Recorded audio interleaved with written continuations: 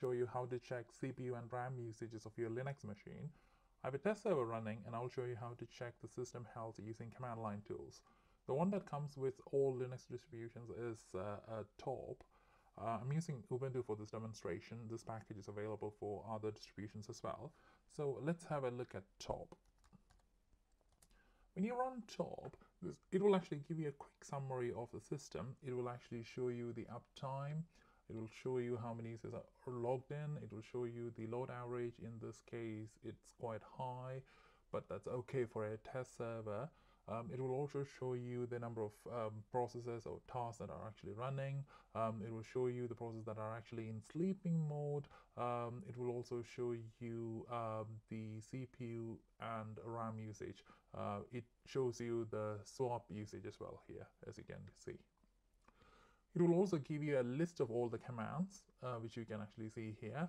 Um, and that's pretty much about it. Uh, you can actually see the process ID and you can use this ID uh, later if you want to actually kill this particular process. Now let's have a look at uh, uh, HTOP, which is actually uh, a better utility. So let's exit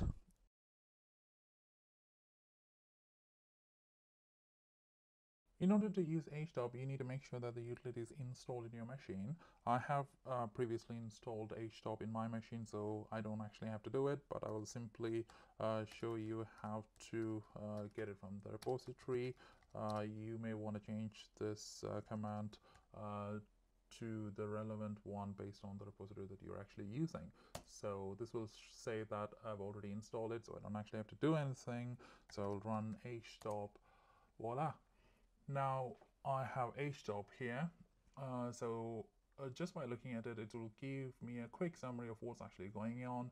I can see that my CPU usage is quite high. I can see my load average is high. My memory usage is also relatively high. This is okay for a test server, but if you have a server in a production environment, this should never be the case.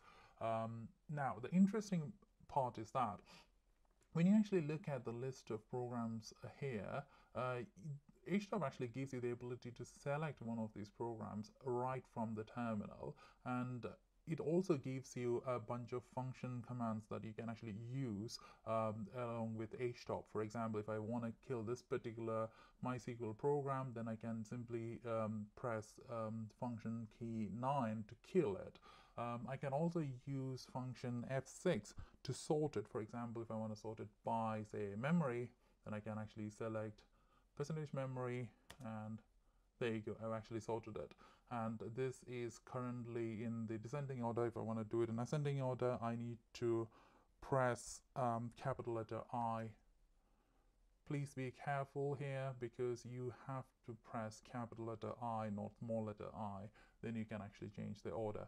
Um, now, uh, let me see if I can actually switch it back to the original uh, position, which was, uh, I think I ordered by CPU uh, which is what, what I want. So I would press F6, uh, percent CPU, there you go, and I want to order it in the descending order.